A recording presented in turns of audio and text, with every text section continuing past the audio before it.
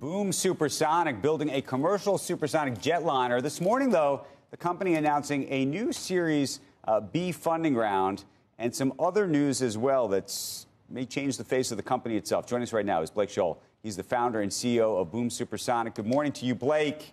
Uh, congratulations. Good morning. Thanks the, for having uh, me. Congratulations on the earnings, but let's talk more broadly about what's happening here, not just in, in supersonic travel, but maybe what's happening to the company. Yeah, so we are announcing a major new product today, a new customer and new funding. Uh, as we all know, there's an electricity crisis in America. AI hyperscalers can't get enough electricity. The grid isn't meeting the need.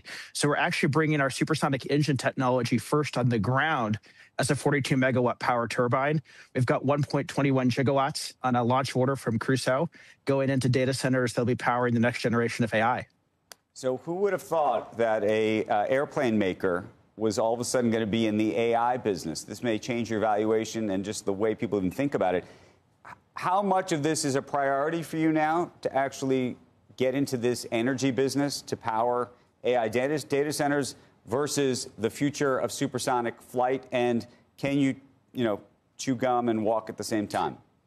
So we, have come to believe that the ground power turbine is the fastest path to bringing back supersonic passenger flight. Of course, we already built the airplane behind me. We proved we've solved sonic boom. We can do it with airliner technology.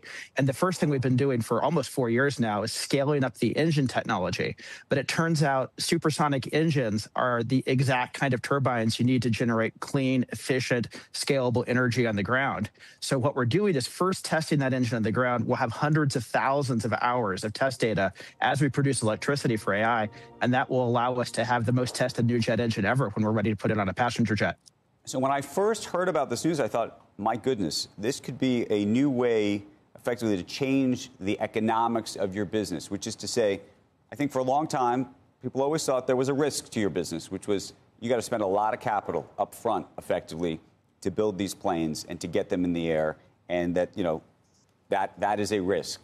This seems to de-risk some of the economics?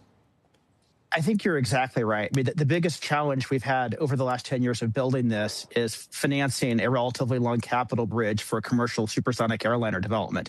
And what we're able to do now is self-finance this. So today's funding, 300 million in new financing, allows us to deliver first the power turbine and then use the profit stream that generates to finance the supersonic airliner. So from this point forward, we are entirely self-funded. That's pretty extraordinary. How big a business do you think the powering of AI and, and data centers will ultimately become? I mean, if we were to have a conversation a couple years from now, how big a business is this?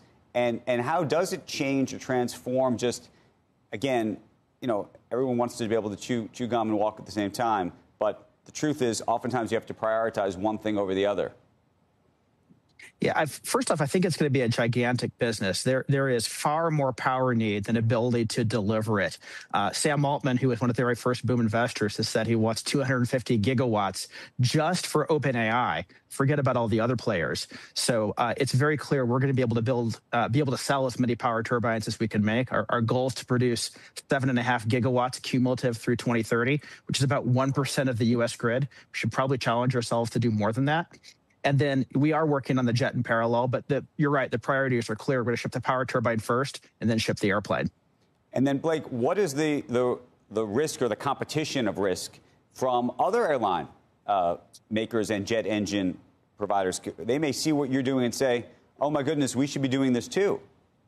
In a certain sense, they already are, but they're doing it with 1970s technology. I mean, Elon really pioneered this idea of building a vertically integrated power plant with a large array of small turbine engines. That's how Colossus 1 and Colossus 2 work in Memphis. That's how Stargate 1 works in Abilene, Texas. These are all modified jet engines, but they're modified 1970s subsonic jet engines, which means those engines are really happiest when it's minus 50 degrees outside at 30,000 feet. And by the time it's a hot day in Texas, you actually have to throttle the engine engines back to prevent the turbine blades from melting down. Supersonic is completely different. This is all about high temperature technology. I mean, think about how Concorde actually got longer when it was going supersonic. You had to paint it white so the paint wouldn't burn off. And so supersonic engines are designed for 160 degrees, which means that when it's 110 in Texas, it's kind of no big deal. And that allows us to actually maintain full generation capacity, even when it's hot outside. So one of our units does the work of like two traditional units. So we've had a huge competitive advantage versus these other engines that are coming from the likes of Vernova, Pratt & Whitney, Rolls. Uh, Blake, we got to run, but I just have one final question, and I know they're rolling the music over us. When, as somebody who's spending all their time in aviation, what was the moment at which you said to yourself, we could be in the energy business? Well, we actually planned it three years ago, and we bought all the energy domains a long time ago because we always had plans to be in this. But earlier this year, I got a call from Sam Altman, another call from Cully Cavness at Crusoe, and they both said, Blake, we need you to move that up. We need it right now.